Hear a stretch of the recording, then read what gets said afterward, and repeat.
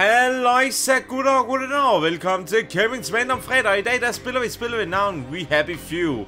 Og øh, bare lige for at sige det, jeg har prøvet at spille det her en gang før i en random fredag. Det er så ved at være noget stykke tid siden nu, og øh, grunden til at jeg bringer det op, det er faktisk helt taget for at se, hvordan øh, spillet har udviklet sig. Det her spil det er ikke udkommet endnu på nogen måde, det er stadigvæk i alfa-stadiet, så øh, det er stadig under udvikling, meget, meget tidlig udvikling, øh, hvad vi snakker om her. Så I skal forvente dig en del af fejl her og der og forskellige bugs. Så øhm, det er bare lige, bare lige for at sige det, at I skal ikke regne med, at det her det er det fulde spil, øh, hvordan det kommer til at være, når det udkommer. Der er ændringer, der kommer til at være. Øhm, og jeg har ikke prøvet det i lang tid. Jeg har ligesom glemt lidt om det. Og øhm, jeg tænkte, jeg så den lige i min, øh, hvad hedder det, Steam-account, og jeg tænkte, det skal vi sgu da prøve i dag. Det, det skal vi sgu. Vi skal se, hvor, hvor langt vi er kommet. Så jeg kan ikke huske, hvordan man styrer. Det er faktisk det, jeg givet hen til. Jeg aner ikke, hvad fanden jeg laver. Så igen, det plejer jeg aldrig rigtig at gøre, når jeg spiller. Så øh, jeg trykker bare på knap og håber på, at det gør noget. I guess. Whatever. Hvis det virker, så virker det. Så øh, jeg burde nok op give en beskrivelse til, øh, til det her spil, til dem, der faktisk ikke har øh, hørt om det her før. Altså, spillet det handler helt så om, at øh, tyskerne, de har vundet 2. verdenskrigen, og øh, du er så i øh, en fremtid, hvor folk, de... Øh, de er ligesom er på sådan nogle lykkepiller. De er sådan, det er en, øh, en dårlig fremtid. Lad os sige det på den måde. Der er folk, der er nogle af de her sådan nogle glade folk, der tager piller og bare smiler og har det godt og bla bla bla. Og bare, øh, bare sådan lidt øh, lukke ude for, hvordan virkeligheden indtil er. Og øh, så er der andre, der bor sådan ude i slumkvarterer, som også prøver at øh, tage de her piller, men det er lidt svært for dem, fordi at det ikke er drikkevand og alt muligt. Og øh, vi er så øh, noget, der hedder downers, som er hele taget folk, der ikke tager piller, og faktisk bare prøver at undgå det hele taget. Og vores mål, det er ligesom at overleve i den her verden. Det er ligesom det eneste formål, der er indtil videre i spillet. Øhm, de har, altså, mange af de, det her det er Kickstarter-projekt, lige for at sige det, og øh, nogle af de ting, som øh, er blevet låst op i fremtiden, det er, at du kan på, på et tidspunkt spille som en af de der happy-personer, og øh, jeg tror også, der kommer... Jeg mener, der kommer en historieelement ind. Men øh, igen, jeg, jeg kan ikke lige huske det hele. Det er lidt lang tid siden, jeg har tjekket spillet ordentligt ud. Og øh, der er faktisk meget, der skal load, så jeg skal hele tiden prøve at snakke så lang tid som muligt. Nej, men øh, hvis det her det bliver for lang loading skærmværk, så øh, skal jeg nok lige hoppe over det lidt og elegant, så jeg ikke skal sidde og ja, glo på det. Faktisk det meget flotte øh, artwork, vi har her. Den er, det er faktisk meget kønt. Den viser øh, sådan hvordan spilindtaget bliver præsenteret. Øh, den højre side, det er Stormkvarteret, og den venstre side, det er det der happy sted. Øh, og øh, jeg ved ikke, om jeg sagde det, men uh, det foregår også i England. Så øh, alle de er sådan uh, britisk accent og sådan britisk bygning og så videre. Så øh, yes. Og øh, igen, det er jo fremtiden. Okay. Oh. Let's see. Okay, things around here ain't going so well. You are down and you need to escape. Somewhere in the world is a maintenance hatch. Find it and use it. You need to learn the rules of the society while making sure you eat, drink and survive long enough to be able to get out. Okay. Godt, så er det i hvert fald forklaret. Så øh, det her det er vores begyndelsesområde. Øh, hver gang du dør, så kommer du faktisk her til sådan et begyndelsesområde. Det er random genereret verden, vi kommer til. Så øh, der er ikke rigtig nogen måde, man ligesom kan forudse det på. Det er lidt ligesom Minecraft med, at du kommer ind i forskellige verdener.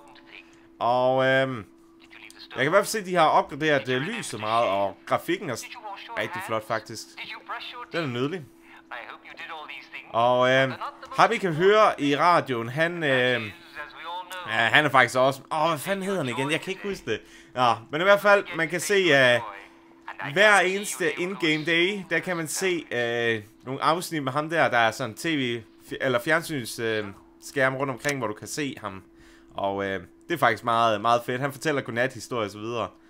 Nå, øh, vi skal lige samle alt det, vi kan op.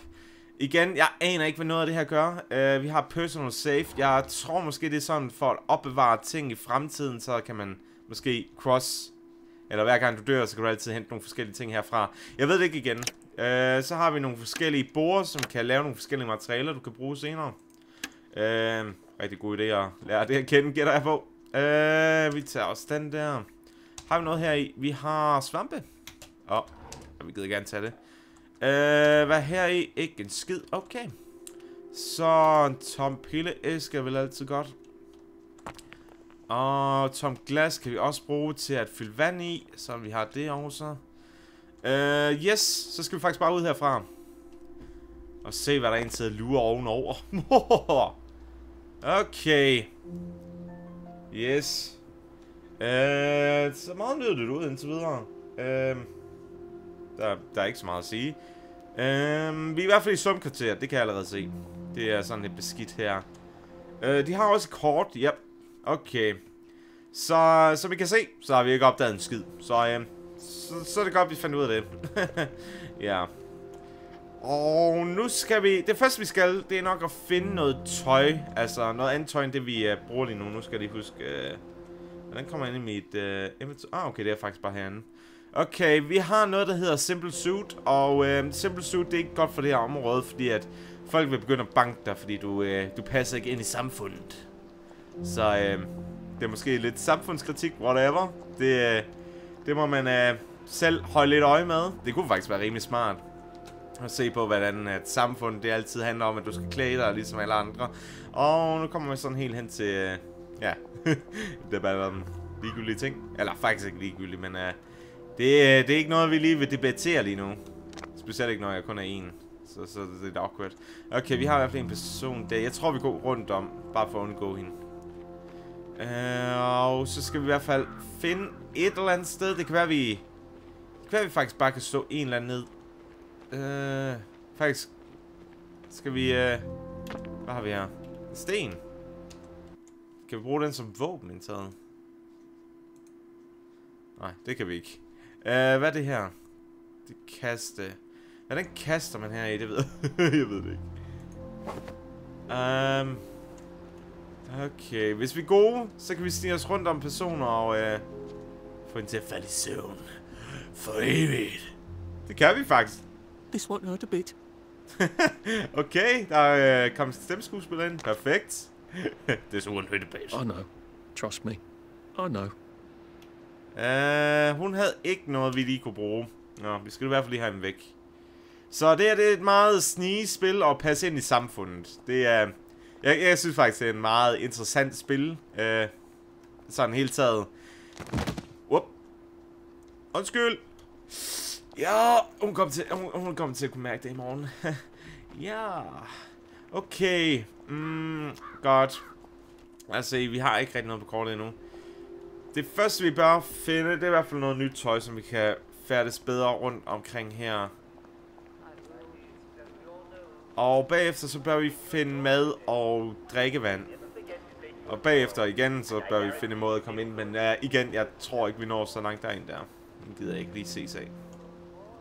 Whoop, whoop, whoop, whoop. Oh shit! Ah! Shit! Åh, oh, helt ærligt, flere. Åh, oh, gud. jeg kan da være det her. Okay. Gå væk.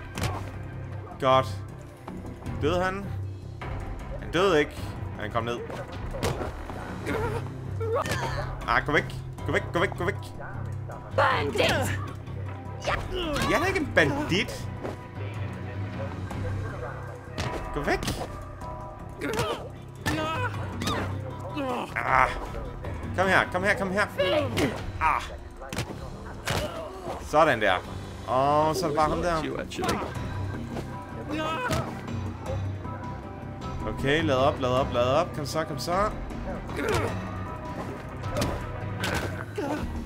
Åh, oh, vi har en til. Ja, selvfølgelig har vi en til. Det han er ikke. Der var der. Ja, okay. AI'en, den er ikke helt god endnu. Der er små, øh, der er små fejl endnu. Altså, ham der, han er efter mig, men han, øh, han kan ikke, åbenbart ikke rigtig finde ud af at lokalisere mig.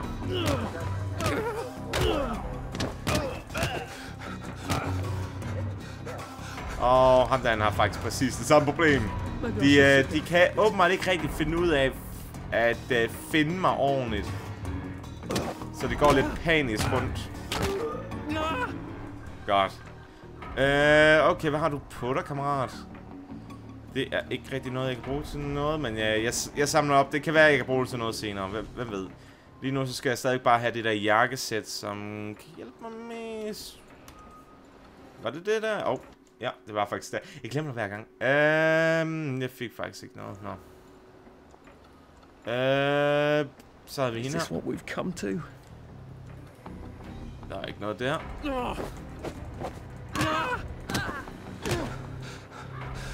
Lad op, lad op, lad op. Åh, oh, vi er tørstige. Okay, det næste vi skal gøre, det er at finde noget vand. Og vi fandt noget cloth. Det er også godt. Øh. Ham der søgte vi, eller hvad? Gennemsøgte vi? Jeg tror i hvert fald, vi har... Vi har lort lidt igennem ham. Øhm, der er ikke noget der. Ah,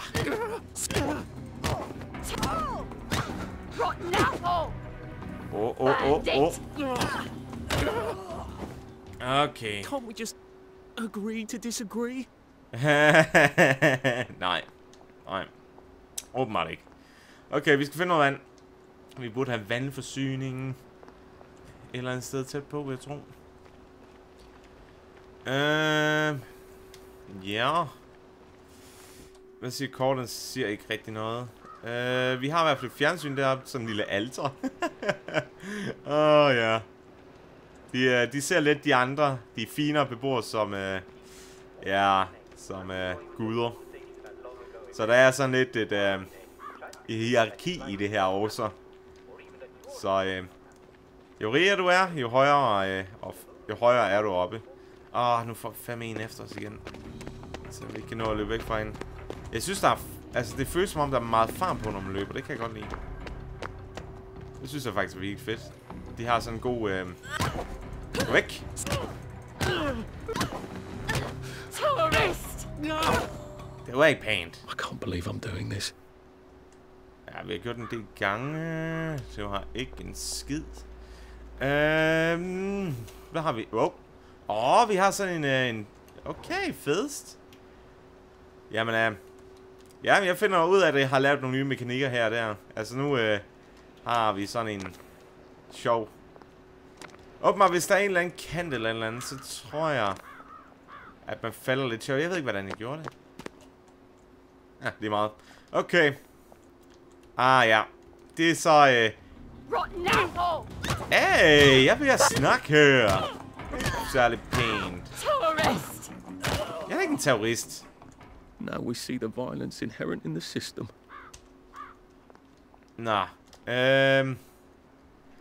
Det kan man godt se lidt problem med det der uh, random genererer. Det er, at nogle gange så kan objekter godt havne steder, hvor det bare ikke giver mening.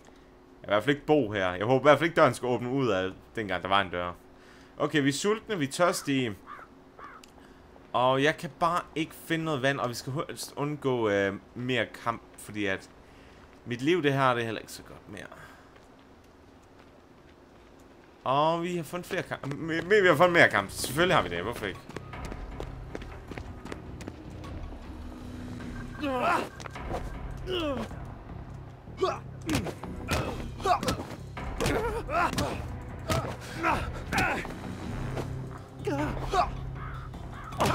Ah. Okay. Can't we work something out? No? Okay, nu er jeg også træt, så er der også øh, sådan mere søvnmekanisme i. Altså, hvad har vi indsat på os, som vi kan indtage? Vi har... Gud. Øh... Use. Okay, så mangler vi faktisk bare at ordne vores tørst. det har vi så ikke. Øh, det har jeg så ikke rigtig noget, der jeg kan gøre noget ved lige nu. Det er hunger. Øhm... I hope I'm not actually coming down with something. Og åbenbart så var maden ikke særlig godt for os, så øh, det kan åbenbart også ske. Og vi døde af det.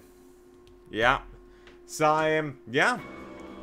Det var ligesom den fremstil, eller fremvisning af øhm, We Happy Few. Og jeg vil bare lige sige, at jeg nok skal lave flere videoer omkring det her spil. Og jeg forventer at lave øh, en video, når spillet kommer hen til beta og alt det der. Så øhm, Ja, det kunne være, at jeg givet lave en serie, men hvem ved, det, det tænker vi på i fremtiden. Det er ellers meget hyggeligt spil. Det er bare svært, kan man godt sige. Så øhm, det var faktisk bare lige det øh, for den her episode i hvert fald. Så øhm, jeg håber, I har en rigtig god dag alle sammen, og øh, farvel.